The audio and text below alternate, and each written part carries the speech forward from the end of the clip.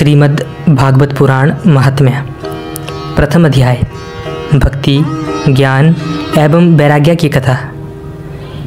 एक बार नैमिषारण्य में शौनकादि अठासी सहस्त्र ऋषियों ने श्री सूत जी से निवेदन किया कि हे सूत जी महाराज, इस कलिकाल में अधिकांश प्राणी अज्ञानतावश संसारिक प्रपंचों में फंसकर माया मोह में ग्रसित है और अनैतिक कार्यों में लिप्त होकर राक्षसों के समान आचरण कर रहे हैं। जिससे वे आठों पहर दुखी एवं असंतुष्ट रहते हैं। हम लोगों की इच्छा है कि उनके उदार हेतु आप किसी ऐसे चरित्र का वर्णन करें, जो भक्ति, ज्ञान एवं वैराग्य से ओतप्रोत हो और भगवत भक्ति के प्राप्ति में सहायक हो। कृपा करके यह भी बताइए कि हरि के भक्त इस माया जाल से किस प्रकार मुक्त हो सकते हैं? इस कर्म बंधन से जीव किस प्रकार छूट सकता है? और भगवान श्री कृष्ण की प्राप्ति किस प्रकार हो सकती है? शौनक आदि ऋषियों के ऐसे लोक हितकारी वचन सुनकर सूत जी बोले, हे शौनक जी, मैं आप सब ऋषियों को वह उत्तम उपाय बतलाता हूँ जो जीवन मरण के भय को दूर करता है और भगवान की भक्ति को बढ़ाकर उनको प्राप्त कराता है। आप सब लोग सावधानी से ध्यानपूर्वक सुनो। कलयुग के आदि में श्री सुखदेव जी ने राजा परीक्षित को श्रीमद् भागवत शास्त्र सुनाया था। उससे बढ़कर मन को शुद्ध करने वाला, भगवान के उत्तम चरित्र का रसमृत पिलाने वाला कोई दूसरा शास्त्र नहीं है। इसलिए मैं उसी उत्तम शास्त्र का वर्णन आप सभी ऋषियों के सम्मुख करता हूँ। यह श्रीमद् भागवत की कथा देवताओं को भी अति दुर्लभ है। हे ऋषियों, श्रीमद् भागवत की कथा सुनने से राजा परीक्षित कर्म बंधन से मुक्त हो गए थे। यह बात जानकर ब्रह्मा जी को बड़ा अचंबा हुआ और उन्होंने सत्यालोक में तुला से भगवान की भक्ति के सब साधनों को तोला। किंतु सब साधन श्रीमद् भागवत की अपेक्षा हल्के रहे।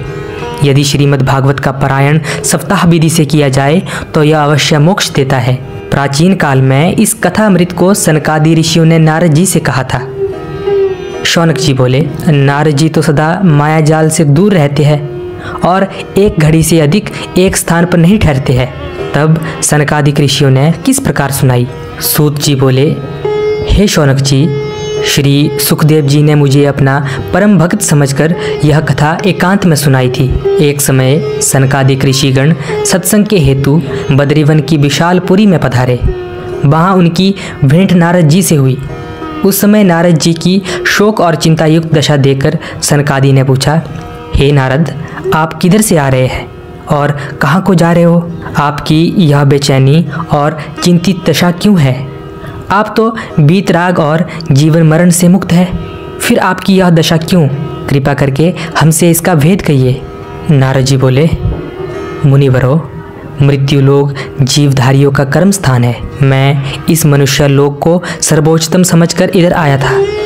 मैंने अनेकों तीर्थ स्थान, प्रयाग काशी, नासिक, हरिद्वार, पुष्कर, सेत, बंधु, रामेश्वर, जगन्नाथपुरी आदि में परिभ्रमण किया। किंतु मुझे शांति कहीं भी ना मिली। सर्वत्र कलयुग ने अपना अधिकार जमा लिया है। चारों ओर अधर्म चाह रहा है। दया, धर्म, दान, जप, तप कुछ भी नहीं दिख पड़ता। मनुष्य निस्तिन विषय भोगों में लिप्त कर उधर पालन कर रहे हैं। मंदबुद्धि, भाग्यहीन, आलसी, झूठ बोलने वाले अधर्मी दयाहीन हरि भजन से विमुख निर्धन विपत्तियों से घिरे हुए हिंसावादी देख पड़ते हैं। ब्राह्मण, साधु संत, पाखंडी, दुराचारी, लोभी और दम्भी हो गए हैं। कन्या बेचकर उधर भरते हैं। घरों में स्त्रियों का अधिकार है। आश्रम तीर्थ आदि स्थानों में लुटेरों का अधिकार है। बेधर्म के नाम से लूट करते हैं और प्रजा को कष्ट देते हैं। मंदिर, देवालय आदि पर विधर्मियों और शुद्रों का अधिकार होता जा रहा है। द्रास्ता बढ़ती जा रही है।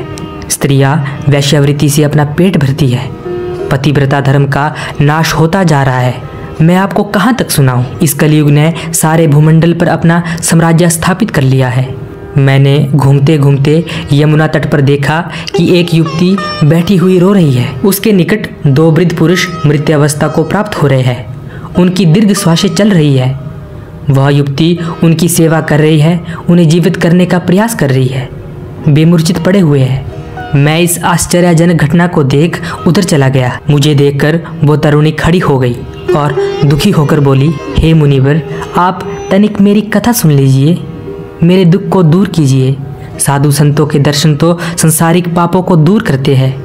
मेरे बड़े भाग्य है कि इस संकट काल में आपके दर्शन हुए। नारद जी बोले, हे मुनियो, मैंने उस युवती से पूछा कि तुम कौन हो?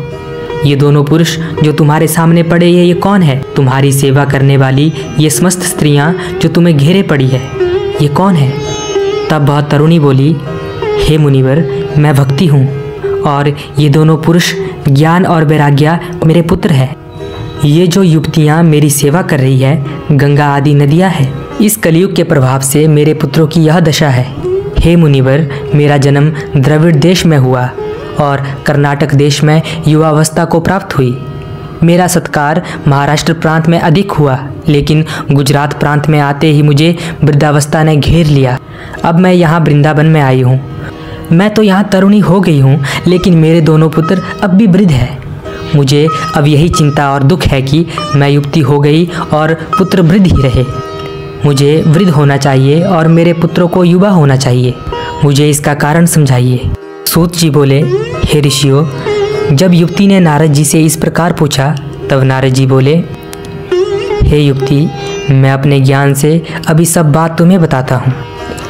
हे साध्वी, तू ध्यानपूर्वक सुन। इस कलयुग के प्रभाव से मनुष्य पापी, पाखंडी, अज्ञानी, भक्तिहीन हो गए हैं। वे भक्ति, ज्ञान, वैराग्य की ओर दृष्टि भी नहीं करते। किंतु वृंदावन ब्रिज धाम में भक्ति सर्वत्र नृत्य कर रही है। धन्य है यह गौलोक धाम इसी कारण तू युक्ति हो गई है। किंतु तेरे पुत्र अब भी सुसुप्त दशा में है। इन्हें यहाँ कुछ आराम अवश्य प्राप्त हुआ है।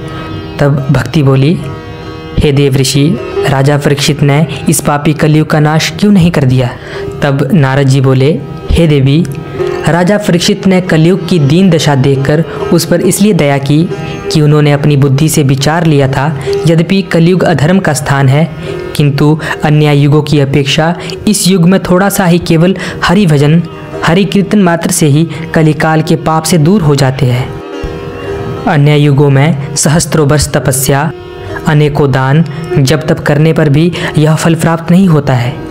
जो कलयुग में केवल भगवान के संकीर्तन मात्र से ही प्राप्त हो जाता है। इसी विचार को करके राजा परीक्षित ने कलयुग को नष्ट नहीं किया था। तब नारद जी के वचन सुनकर भक्ति ने कहा, हे देव ऋषि, आपके प्रभाव से प्रहलाद ने अपूर्व भक्ति पाई और आप ही के प्रभाव से ध्रुव ने अटल भक्ति प्राप्त की। हे मुनिश्रेष्ठ, आपके दर्शनों से मुझे भी अपूर्व आनंद प्राप्त हुआ है। आप ब्रह्मा जी के पुत्र हैं। मैं आपको सष्टांग प्रणाम करती हूँ। यहाँ पर श्रीमद् भागवत महात्म्य का पहला अध्याय पूर्ण होता है।